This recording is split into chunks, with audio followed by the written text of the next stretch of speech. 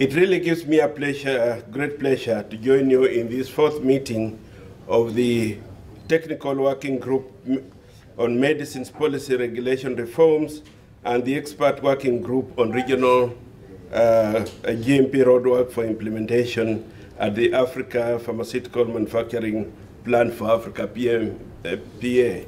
The history of UNIDO engagement with NEPAD and Africa Union Commission date back to the as long back since the initial discussions and development of PMPA uh, business plan.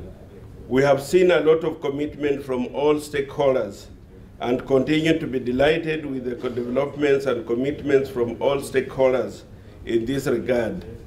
We hold the view at UNIDO that progressive engagement of the policy makers and the pharma industry uh, sector must and should involve consultative approach uh, with all stakeholders, with the industry and the regulator being central.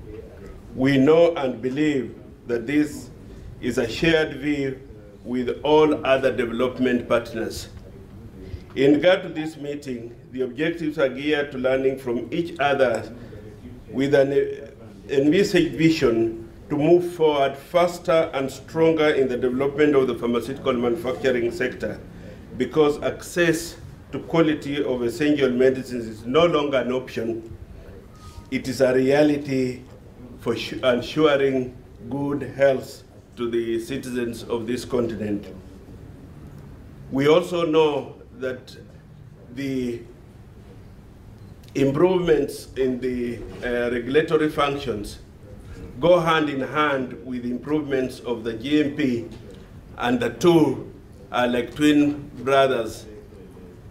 So therefore, it's a platform for which we must discuss and assure ourselves and the residents of this continent that good quality medicines is a reality in Africa.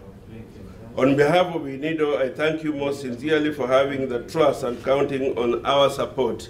I wish you success in the deliberations of these meetings. Thank you.